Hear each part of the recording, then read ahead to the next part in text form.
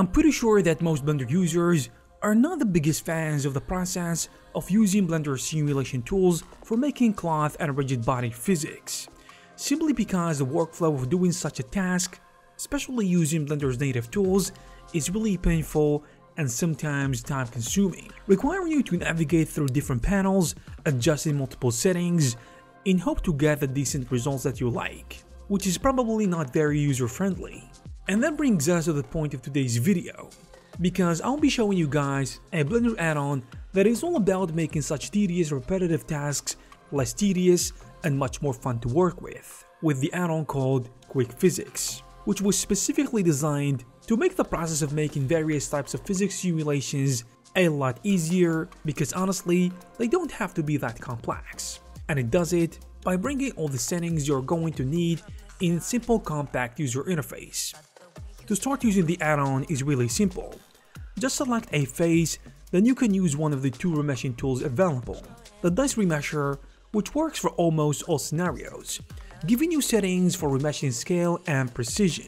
Or you can choose to opt for the subsurface method, which only works for quad faces, so keep that in mind. And before committing to your remeshing settings, you might want to check use individual face and create separate objects if you want to create multiple panels for different selected faces, which is a very handy setting to have access to.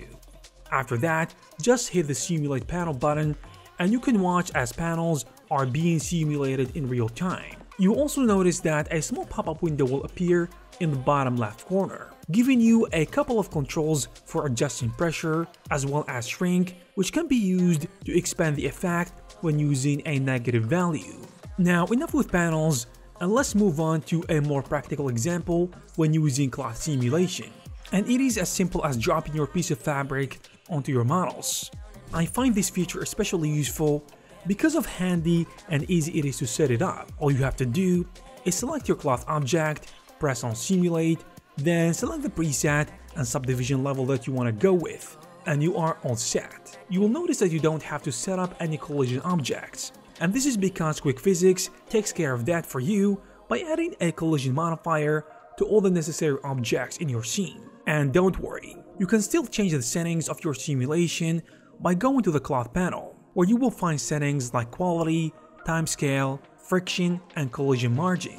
Another important feature that I need to tell you about is the rigid body simulation, which is made equally straightforward with quick physics. It simply works by scaling the objects that you want to simulate, also setting the mass and the friction parameters and proceed forward. Just like that, you have successfully and easily added rigid body simulations to your scene. And just like with the cloth feature, Quick Physics automatically detects and adds collisions to your objects within your scene, so that you won't have to do that manually, especially considering that it is a very repetitive work.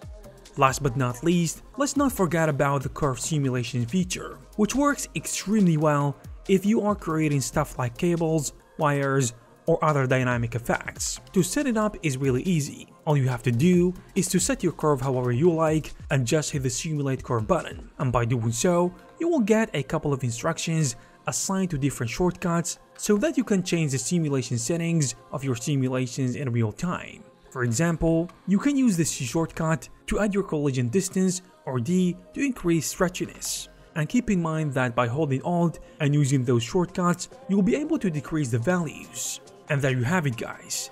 If you are interested in this add-on, you will find all the necessary links in the description. I hope you guys found this video useful and informative. If you did, please subscribe to this channel to receive more videos like this. Thank you guys very much for watching again, and I will see you in the next one.